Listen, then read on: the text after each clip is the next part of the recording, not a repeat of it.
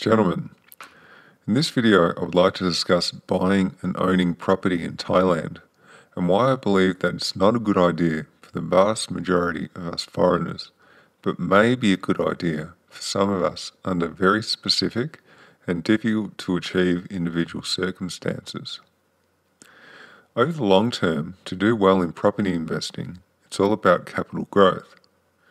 Generally speaking, over the long term, land appreciates in value, at least in a nominal sense, and buildings depreciate in value.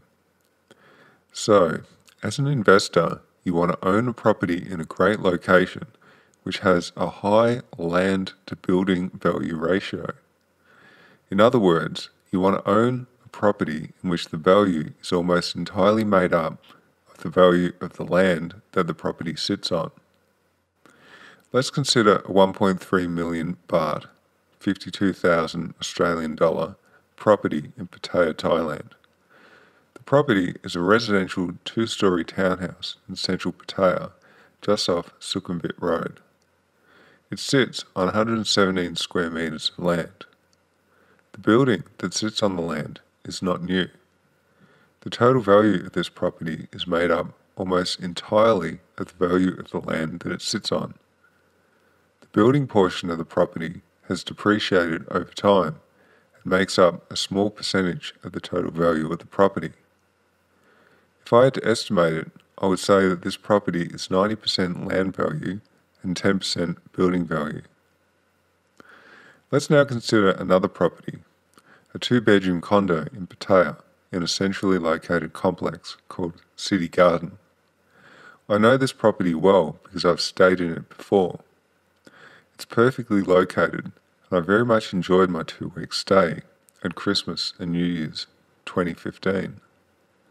It's currently for sale with an asking price of 5.7 million baht, 228,000 Australian dollars. There are literally hundreds of condos, if not more, in the City Garden complex.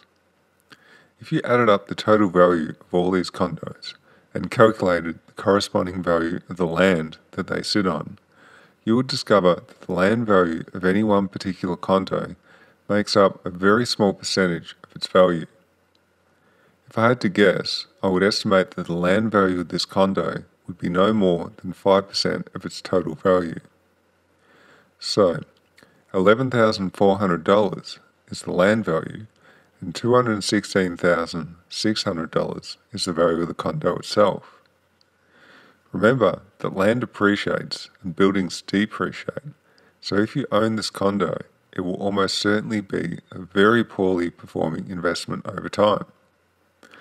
If you lived in it, you would have a very comfortable lifestyle, however. The complex has great facilities, and it was a real pleasure staying there.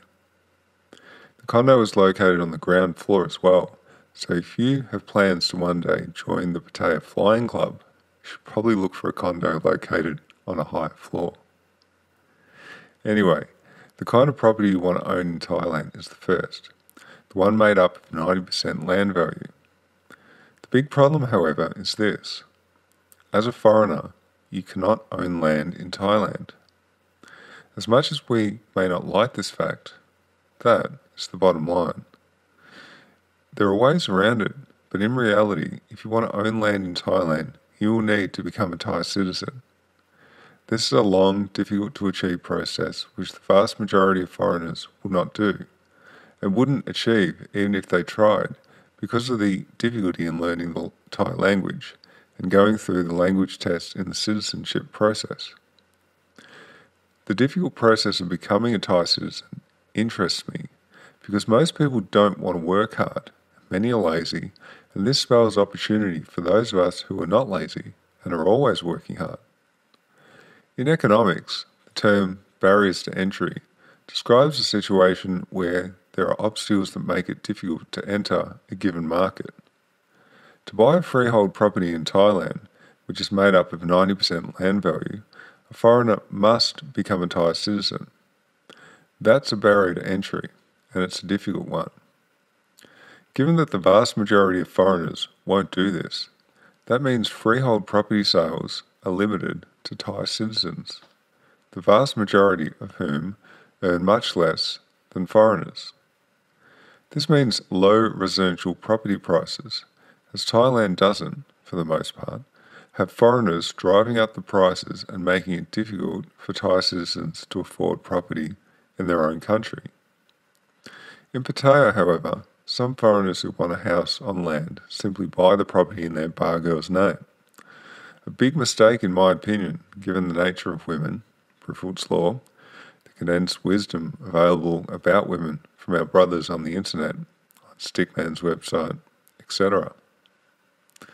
Now, let's say that you as a foreigner spend the time to learn the Thai language and become proficient. 1100 hours and two years worth of effort. Jumps through all the associated hoops of staying in the country for five years and manages to achieve Thai citizenship and are looking for a house on land in Thailand to buy. My advice is to buy a house in the best location you can, where the price is made up almost entirely of the land value of the property, and the total value of the property is within the price range that is affordable to a large percentage of the Thai buying market. This means you should buy a property at the low end of the market, like the 1.35 million baht townhouse I used in my first example. Owning a property like this means you are invested in an asset made up almost entirely of land value, and if you ever need to sell the property, you are not reliant on selling it into the foreign market. A local Thai family would be your target buyer. Those of you who have spent time in tourist cities like Pattaya would have noticed the huge number of condos for sale targeting the foreign market. Stay away from them. They are a very bad deal. Generally speaking, the more flashy the sales, marketing, and advertising of a product or service, the poorer quality that product or service is in reality. Condos that are marketed towards foreigners are in large supply and relatively low demand. They are expensive and unaffordable to the vast majority of Thai people.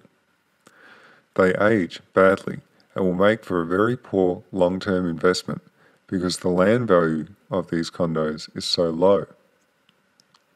If you buy one of these types of condos, you better be happy with owning it forever. The reality factor says that you almost certainly won't be happy with it forever and will want or need to sell it. My advice to you as a foreigner in Thailand, generally speaking, is to rent a condo in a good lifestyle area and keep your money invested in your pension plan, index funds, or property back in your home country. I personally will be keeping the vast majority of my assets back in Farangland, but I'm planning on one day becoming a Thai citizen and owning a townhouse on land in Thailand. It would almost certainly be the equivalent of my first example of a 1.35 million baht property. I plan on investing no more than 5% of my total net worth in any such property in Thailand and I will definitely, as I say, be keeping the vast majority of my assets in Farangland. The way I will achieve Thai citizenship is I will build up my assets back home by working hard from my current age of 36.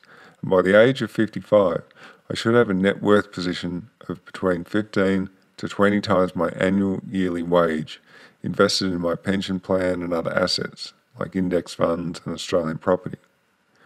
When I turn 55, I will hop on a plane and head to Thailand permanently, rent a condo for five years, and then when I'm 60, I'll become a Thai citizen, and then I will buy a house on land in Thailand. I'm already proficient in the Thai language, so the major obstacle for me for Thai citizenship is being in the country for five years. The way I see it, good things come to those who wait and I'm vastly better off financially continuing to do what I'm currently doing, earning money in the Western world and spending some of it on holiday in Thailand.